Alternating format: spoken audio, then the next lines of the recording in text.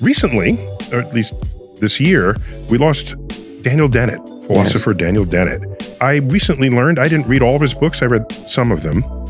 Uh, he declared that Darwin's evolution by natural selection was the greatest idea anybody ever had. He's coming to it not as a biologist, but as a philosopher. So, how do you reflect on that declaration? He said that at the beginning of his book, uh, Darwin's Dangerous Idea.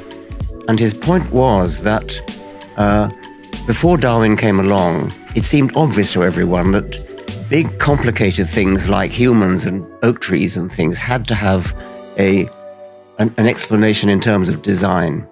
And it was a huge stroke of insight for Darwin to see that it didn't, that the laws of physics alone could produce this prodigious amount of complexity filtered through this odd process of natural selection.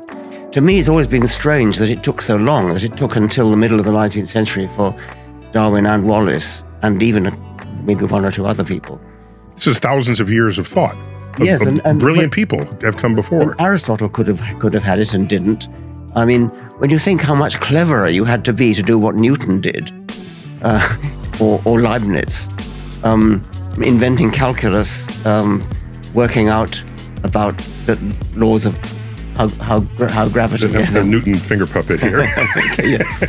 um, you'd think that somebody would have tumbled to evolution by natural selection before the middle of the 19th century, yet they didn't.